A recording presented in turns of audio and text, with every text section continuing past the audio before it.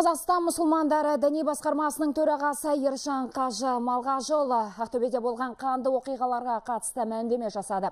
Бас мүфти жан түршігерлік қылмысқа кінәлілерді. Ислам құндылықтарына сай келмейтін әрекеттері үшін айыптап, қаза тапқандардың отбасыларына қайғырып, көңіл айтты.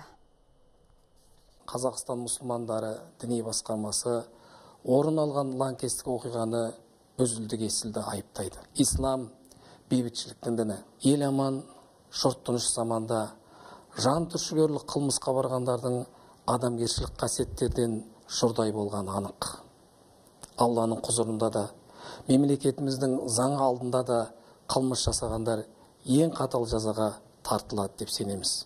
Елдің амандығы жолында өздерінің азаматтық парыздарын орындау барысында қаза тапқандардың отбасыларына және туған туысқандарына қайғырып көңіл айтамыз.